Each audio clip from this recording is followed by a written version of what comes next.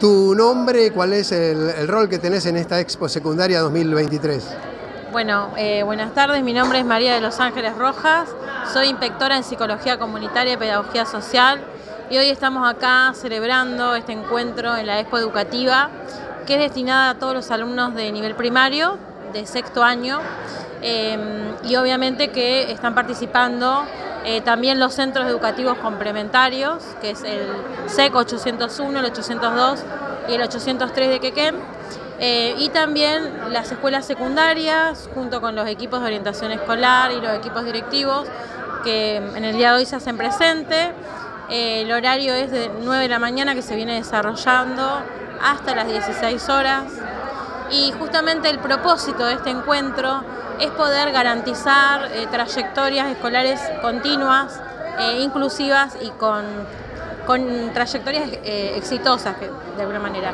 Es acompañar a este nivel primario que está a punto de terminar a fin de año el, año y empezar un nuevo nivel y que vean las ofertas educativas. En tu caso particular, ¿cuál es el, rol y cuál es tu nombre?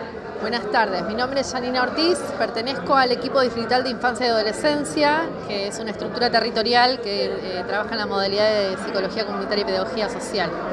Eh, y bueno, hoy estamos como, somos parte de la organización de, esta propuesta, ¿no? que es eh, un proyecto ¿no? que se viene realizando por hace 14 años de forma consecutiva, organizado junto a todos los equipos de orientación escolar del nivel secundario con la intención de eh, poder eh, mostrar cada escuela secundaria cuál es la propuesta pedagógica que tiene para ofrecerles a los estudiantes que egresan del nivel primario hacia al, nivel secundario.